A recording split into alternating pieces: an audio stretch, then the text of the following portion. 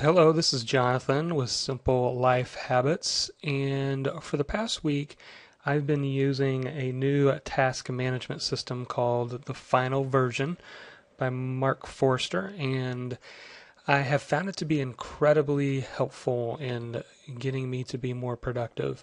And this is coming from somebody who's used getting things done. I've used different versions of some of the task management systems that Mark has put together and uh, I've been using it primarily the past week on a notepad, and it's worked out really well. I do enjoy the notepad.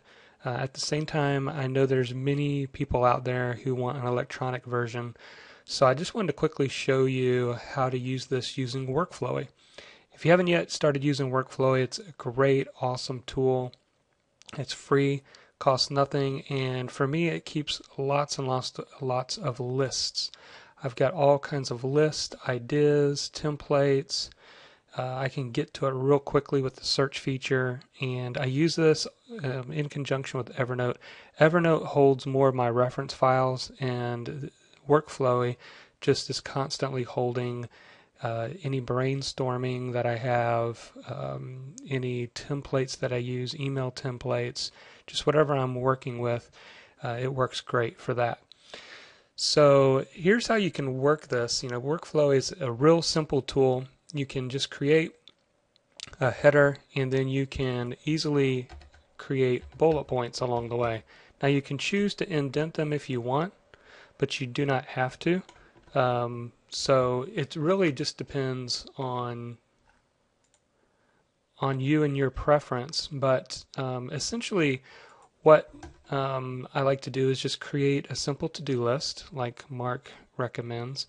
And then you want to have um, your first task to kind of be the anchor to everything else. And so what I do is I actually just use a feature, a hashtag feature that's already built in, and I just use the one called next. And so as I'm looking down through my list, I'm just scanning it and I'm asking the the question that Mark recommends that you ask what do I want to do before I do X? So what do I want to do before I send out this email that I need to send out? So I look through here and say, you know what? I really want to write some blog post. So I'm going to tag that as next. And you know, before I do that, I really need to call Ben back. So I'm going to tag that as next. And so now that I've got that list of things that I want to do before uh, I do the one above, then what I do next is I simply just click on this and it filters out everything else.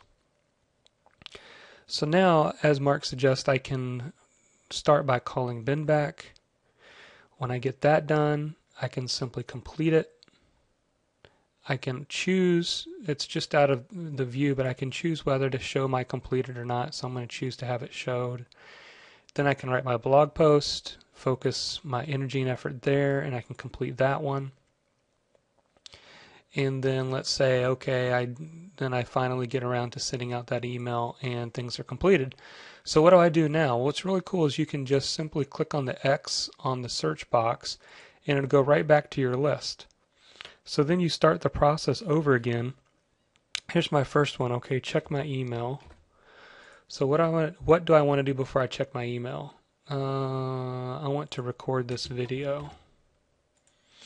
And so now I'm going to again do the same thing. I'm going to click on next and it's going to show me what I need to do next. Now I can simply click a button and hide my completed and I can always toggle back and forth, which is a really cool feature. And I can just focus on recording the video. That's actually what I'm doing right now. So once I get that done, again, I can complete that. And now I'm just focused on my last task of checking my email. And Then I can click the X and go back. I can choose to see what's already been done. And so it's a real simple, easy way for you to be able to to um, use the final version system to get stuff done. It's also compatible on the iPad and the iPhone, um, and it works really great. So give it a try.